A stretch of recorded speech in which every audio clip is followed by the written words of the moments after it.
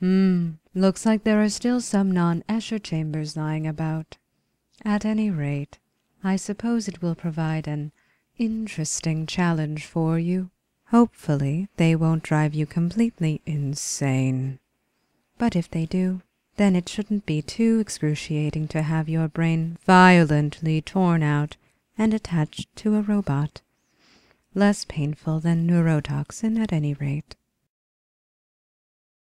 Hmm, looks like there are still some non-Escher chambers lying about.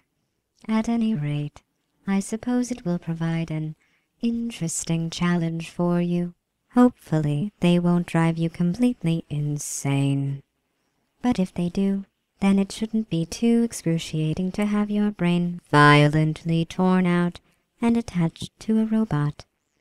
Less painful than neurotoxin at any rate.